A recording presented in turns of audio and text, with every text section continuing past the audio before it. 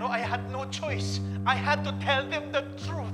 Otherwise, ipapakulong nila ako. Alam na namin ang lahat. You better concede. So anong gusto mong gawin ngayon, ha? Pagtawaran ako? Then go ahead! Umiisip ako ng tamang parusa para sa mga kasalanan mo. Hindi lang yon, Moira. We are going to sue you at sisiguraduhin namin na makukulong ka. You can't do that to me! Watch me. Ay, pasensya na. Akala ko'y ipis na naman. Maraming salamat, Annalyn, sa pagsama mo sa akin sa dasal mo. Carlos, kami nga ang dapat magpasalamat kasi tinakap mo kami ni Annalyn dito sa bahay. Bahay natin. Isa na tayong pamilya. So now, make a decision. This mop or Christmas in jail? Ayaw? Okay. Kuya, halika na ulit. Sa'yo na uli ang mop na to. Wait, wait, no, no, no. Jail! No, no, no. Kuya, kuya. No, no, no. Akin na to! Ang na yun. Sige na, fine. Gagawin ko na yung gusto niyo. Good girl.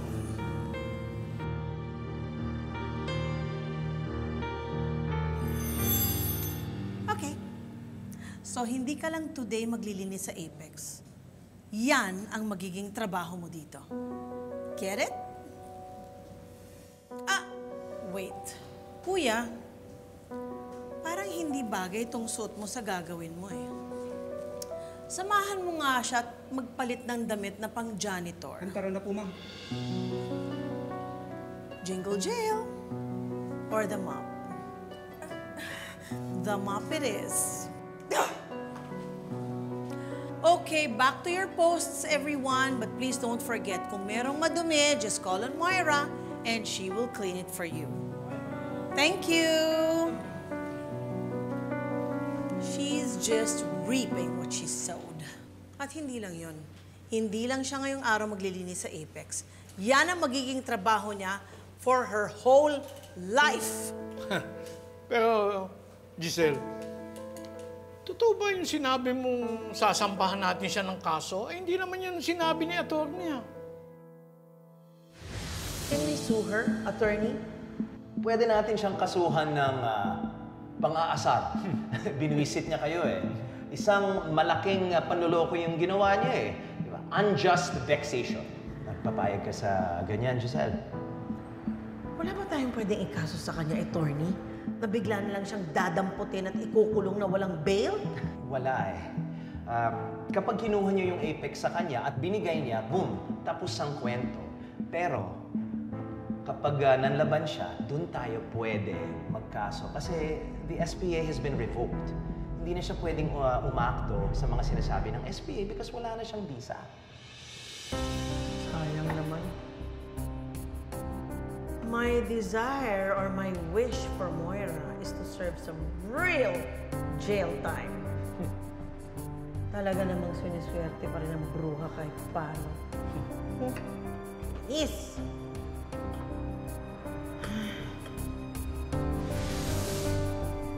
Course not. We're not going to file a legal case against Moira. Our case is too weak. Eh, kaya nga eh, pero sinakyan ka lang namin ni Obeng eh. Well, let's put it this way. Niloko tayo ni Moira at pinapaniwala tayo na nagkabentahan nga sila ng shares ni Obeng sa Apex. Pinagmukha niya tayong tanga. Pwes, lokohin din natin siya. Ayaan natin siyang magmukhang tanga at katawa-tawa.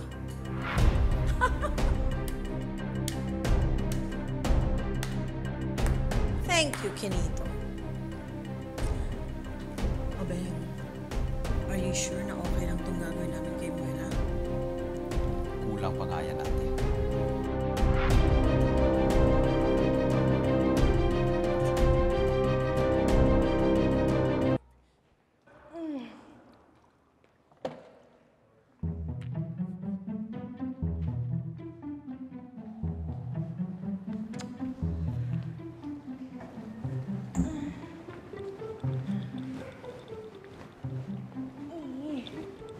Moira ba yun? Moira.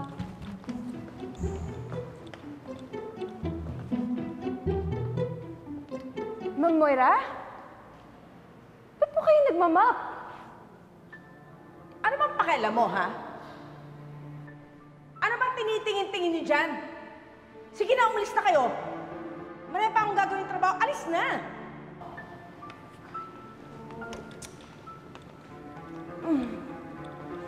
Mann. Hm. Ich da? Ich da? Ich da? Ich, ich.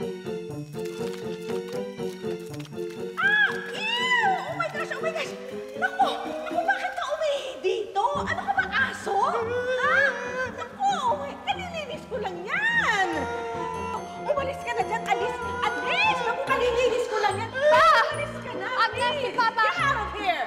Excuse me? Bakit mo sinisigawan yung papa ko? May Alzheimer's siya. Janitress ka lang dito. Kung makasigaw ka, akala mo ikaw yung may-ari ng buong hospital. Kulang pa yung sweldo mo, pambayad sa bills ng papa ko. Pa, let's go. May tayo sa hospital na to.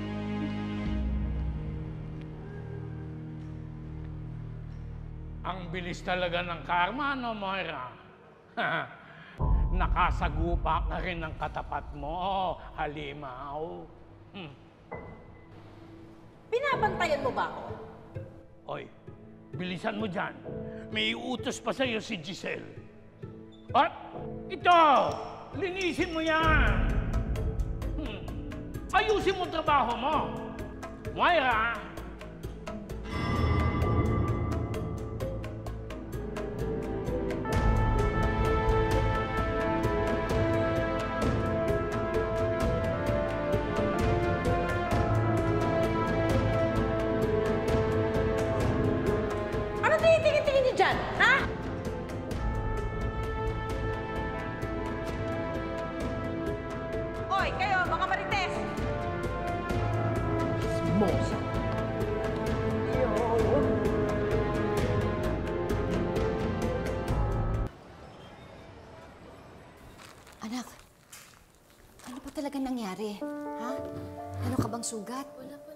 sunog ka ba?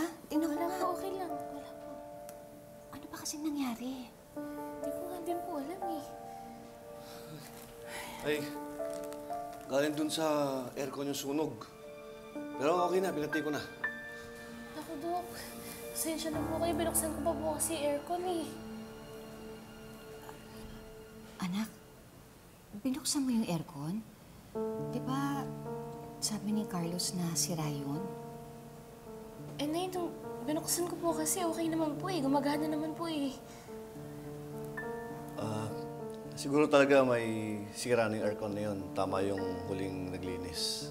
Kaya kailangan palitan na natin. Um, Annalyn, pasensya ka na. Munti ka pong mapahamak. Dok, ako nga po dapat humingi ng sorry eh. Muntikan ko pa pong masunog yung bahay ninyo. Sorry po, Dok. Wala yun, Annalyn. Aircon lang yun. Pero, paano niyan? Hindi ka pwedeng mag-stay doon kasi puro usok. Masama sa bagay yun. Ah, Dok. Okay naman po ako dyan sa sofa. Wala naman pong problema. Anak, sa sala? Hindi naman po pwede yun. Doon ka na lang muna sa kwarto namin para makapagpahinga ka ng mabuti. Kesa naman nandiyan ka sa sala, oh. Hindi ka naman makakatulog ng mabuti dyan. Diba, Carlos? Okay lang naman kung doon muna si Annalyn sa kwarto natin. Oh, Ay, Nay. Ayoko po makaistorbo po sa inyong dalawa. At okay naman po kayo sa sofa eh. Wala pong problema. ah, pero Annalyn, kung gusto mo, ihatid mo kita sa bahay niyo. Makakapagpahinga na maayos. Dito, hindi komportable eh. Kapag okay na yung kwarto mo, susunduin kita agad. Dok, okay lang po talaga ako dyan sa sofa. Maraming salamat po at pasensya na po talaga ulit. Anak, sigurado ka ba wala kang sugat, wala kang sunog? Baka patingin ng kamay mo. Okay.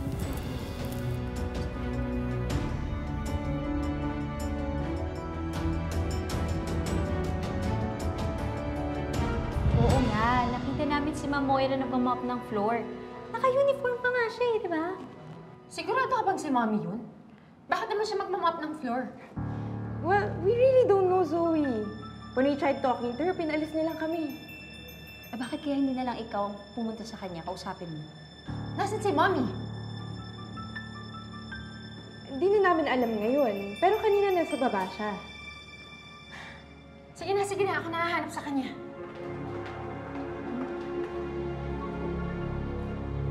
Bakit hindi mo pa sinabi kay Zoe yung totoo? Na ano? Na alam talaga natin kung sino nag-utos kay Ma'am Moira na maglinis? Di na, no? Sa atin pa magalit yun. Paano yan? Parang tinanggal na talaga si Ma'am Moira dito sa Apex. Grabe, hindi mo talaga masabi, no? Parang minsan yung universe na gumagawa ng paraan para makalma tayo. Oo nga eh. Kaya dapat, napakabait lang tayo lagi. Ito naman.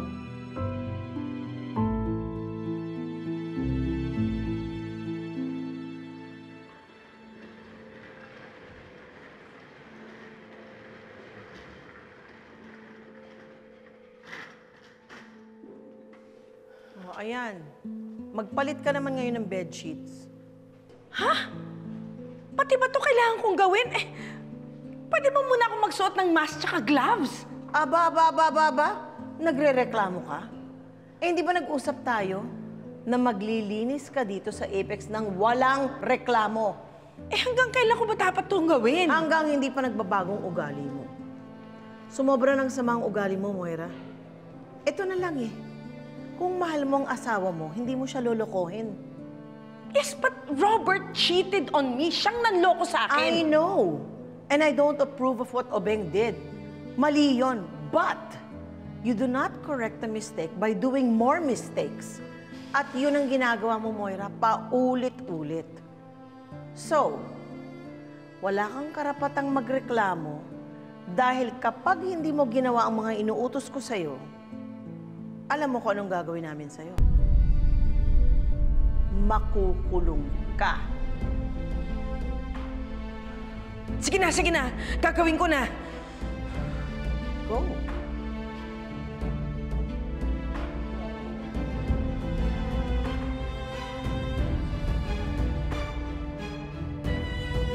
Ew, grabe, ang baho.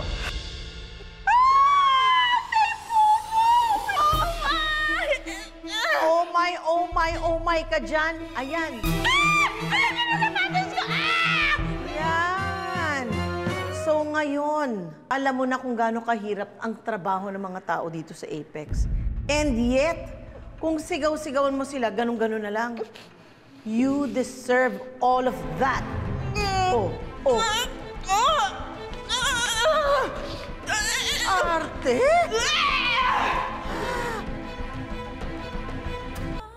Madam, ito pa oh.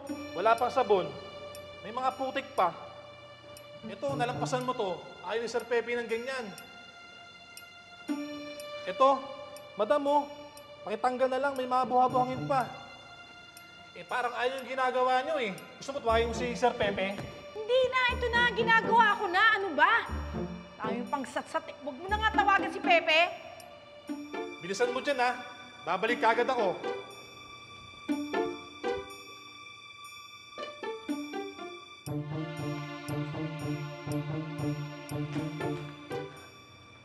Mommy? Mom! Anong ginagawa mo? Bakit ka naglilinis ng kotse? Mommy, kayo na pa ako tumatawag sa'yo. Hindi ka sumasagot! Zoe, ano ba? Bakit mo tinapon yung trapo? Mommy, cut it out. This is absurd. Bakit ganyan ang itsura mo? Bakit ka naglilinis ng kotse? They all know what I did, Zoe. Alam nila na ginamit ko lang si Lander bilang front. Wala na sa akin ang Apex. Nasa daddy mo na ulit. Pero sino nag-utos sa'yo maglinis ng Apex? Sino nagsabi mo sa'yo maglinis ka ng kotse? Mommy, sino? Ang tita Giselle mo at lolo mo. Pinagkaisa nila ako, Zoe. And if I don't do what they want, they're going to have me arrested.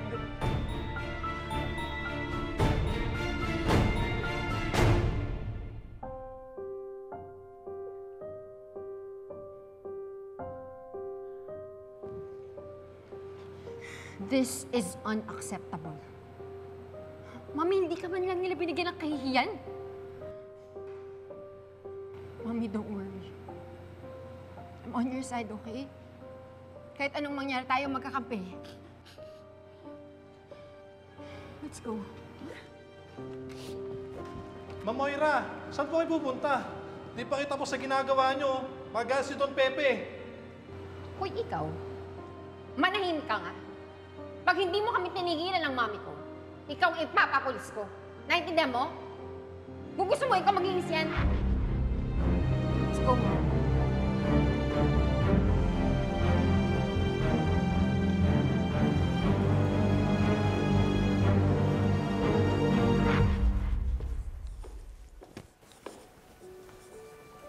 Anak, natutulog ka na? Ang aga pa. Eh, maaga pa po kasi duty ko bukas eh. Tapos po, medyo malayo pa yung biyahe, kaya mga one hour po siguro kapag nag-commute po ako. Kaya kailangan po maaga ako matulog. Sensya ka na anak ha. Konting tiyaga lang, masasanay ka din. Pero alam mo, tama ka. Mas malapit yung bahay natin sa Eastridge kesa dito, no? Ano ka ba, Nay? Wala po yun. Basta kasama po kita kakayanin ko.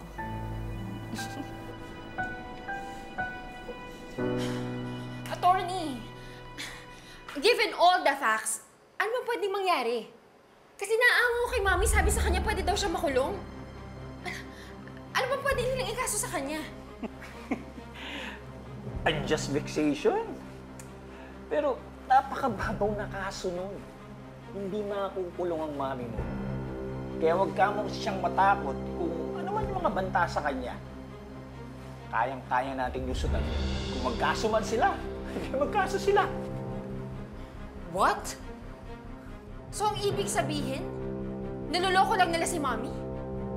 Ang ibig sabihin, tinatakot lang nila yung Mami ko?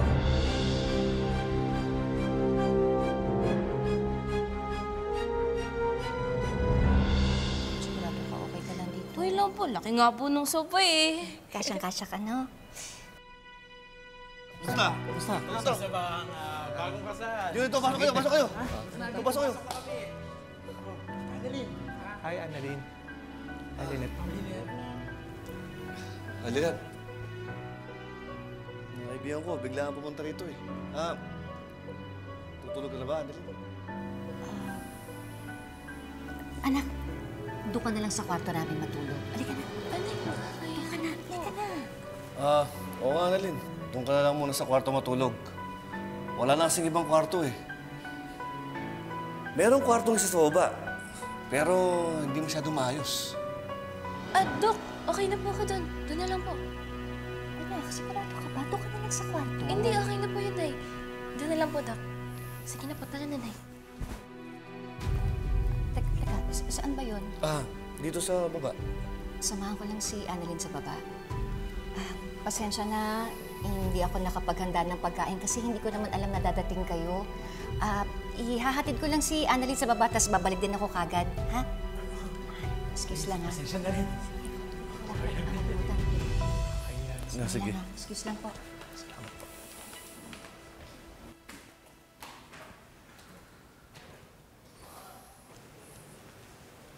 Pare, anong biglaan? Eh, tinawagan mo kami, di ba? Pare, huwag kayong maingay. Hindi alam ng asawa ko na sinadya ko yung tawagan para pumunta rito. Bakit ba? May problema ba ka ni Lynette? Kakasal nyo lang, ah.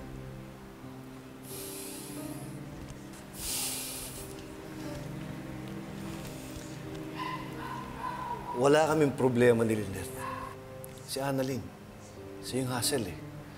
Gusto laging nakadikit sa nanay niya. Nawawalan tuloy kami ng privacy. Eh, bakit di mo muna kausapin ang asawa mo? Alam niyo mga pare, anak niya yun. Ako palalabas na masama. Pero okay naman si Annalyn. Mukhang mabait naman siya. Mabait si Annalyn, oo. Pero kampi siya sa tatay niya. Hassle nga yan. Pag nagkataon eh, baka ikaw pa makisama sa huli. Tsaka mas maganda nga na kayong dalawang mag-asawa na yun nandito sa bahay. Pero pare, package deal yan. Pag pinakasalan mo yung nanay, kasama ang anak dyan. Eh mga pare, okay lang sana kung minor si Annalyn eh. Pero nasa tamang edad na siya. Pwede na siya magsarili. Tapos isa pa, masyadong opinionated. Alam niyo, ayaw kong dumating yung araw na pag-awayan na yung mag-asawa si Annalyn.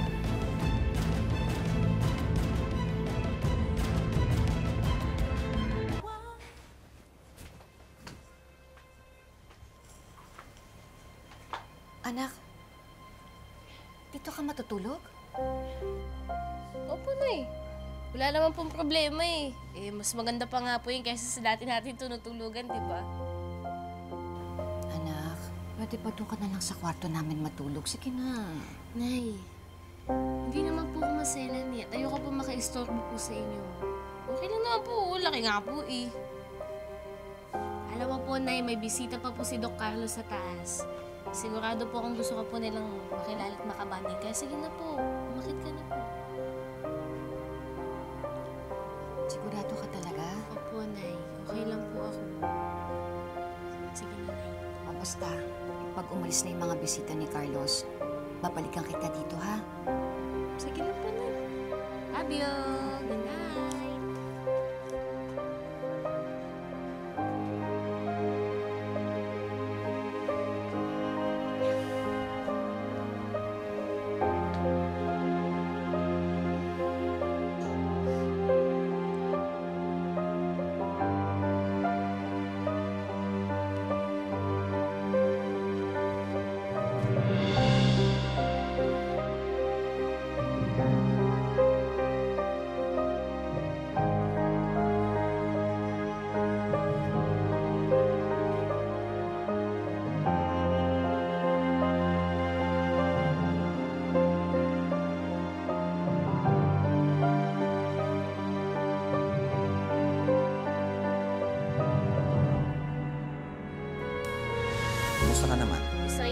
Po akong kwarto eh.